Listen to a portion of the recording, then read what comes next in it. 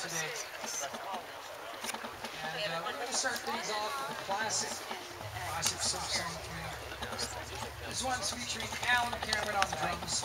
Hope you enjoy. A song that came out by a band called The Surfaris.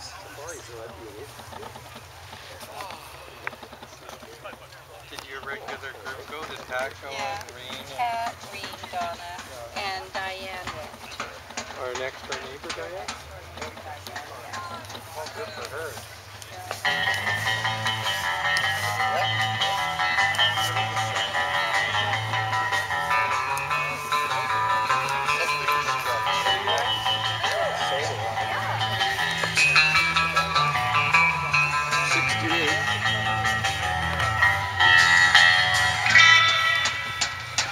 This is uh, uh, one of our friends in Victoria. He just sold this one. Ah, I remember this one.